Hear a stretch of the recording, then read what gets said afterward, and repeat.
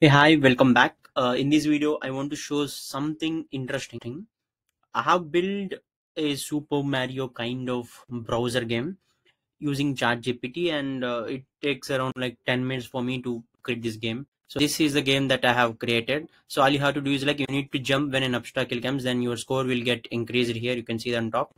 There is a one minute time limit for the game, and if you fail to jump on time your score will be reduced by minus one. See my score is four now and if i failed to jump it has become three. Now it's four.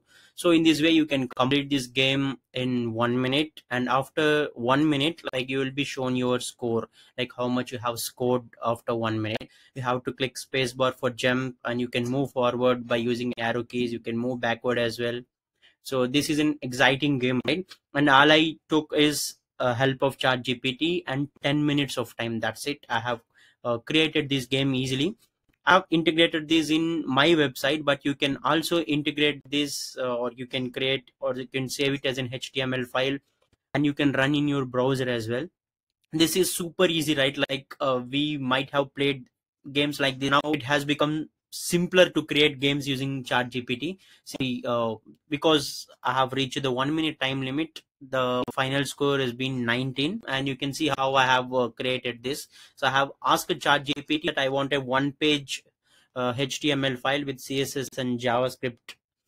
And i have asked like there should be a mario there should be all like obstacles and after that it gave me some code and i have uh, i mean if i'm not satisfied with the code i can ask it again uh, to add this feature and all. You can check in the the preview as well. There are many html online previewers. You can just paste your code here and you can uh, see whether you are satisfied with the output or not. And if you're not satisfied with any output like you can ask it okay i want this feature. I want to add this feature and all.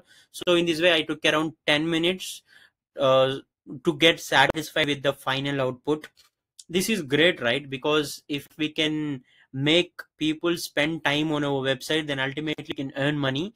Because like if people are playing this game on the browser then ultimately the ads will be shown as well so that i can earn some money as well uh, without i mean like making people spend anything. Like they can use my website they can play game for free and i can also end by displaying ads. You need to spend some time troubleshooting with chat gpt it might not be the perfect one in the first response itself but you can ask chat gpt to come up with a new uh, future to add uh, anything new so that like you can have your complete game in less than 10 minutes. So i have my website already in wordpress so i've just copied and pasted this html in my code and it got uh, done. You can also try doing that in blogger. Like you know blogger is a free website. So you can simply paste this code on blogger and you can have your own url you can also do that in github pages as well. In github just upload this html file that you have created and you can have your own url and anyone can uh, play that game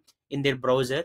You don't need anything here any editor or anything just copy this code and paste it in wherever you want to say it. It might be blogger it might be in wordpress it might be in any other website that you wish.